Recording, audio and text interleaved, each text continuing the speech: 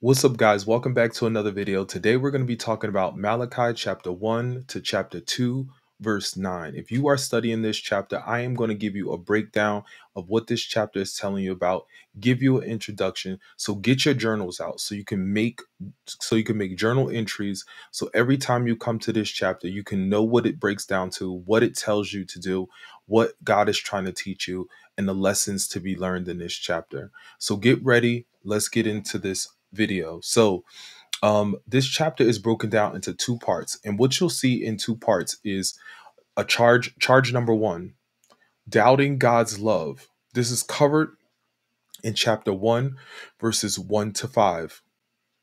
So when you go to when you go through all this, you'll see one to five. That'll that'll clear up that first charge for you.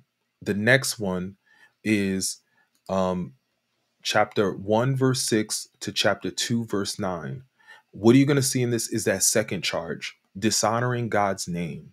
You're going to be able to read through this and you're going to be able to um, understand what god is saying going all the way down to 9 okay?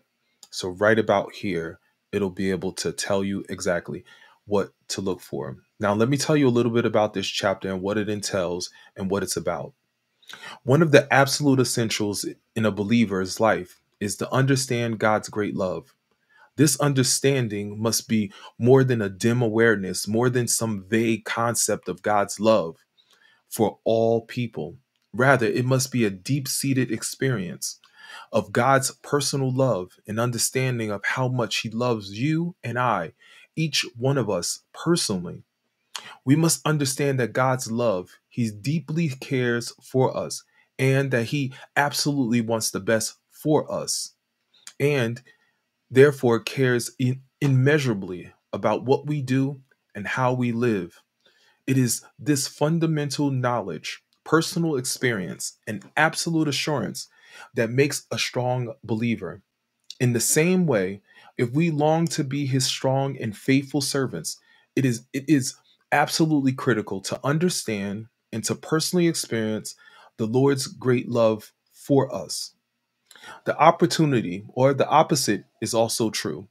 If we doubt God's love, his care and concern, we will be greatly weakened. We may even fall prey to, to the false notions that God cares little about what we do or whether we live for him or obey his word or not. Also, to doubt God's love is to doubt his reality, his very essence and being. This is because doubting God's love is also to doubt his word. For the long for the Lord clearly tells us that he loves us. Scripture teaches teaches us this in no uncertain terms. So too does the passage before us right now. The opening chapter of Malachi states emphatically that God's love for his people. No doubt about it. Not only does he love us, but he has proven it time and time again, many, many different ways. Malachi goes even further and spells out a devastating result of doubting God's love. The prophet recounts how doubt quickly spirals and spins out of control, and when it does, it leads to disobedience, and disobedience brings dishonor to God's holy name. This is the critical message of the passage before us today, laid out into two charges. So let me give you those charges and put your bullet points in your your journal and it goes this. The first charge is doubting God's love, covered in verses chapter 1 verses 1 to 1 to 5.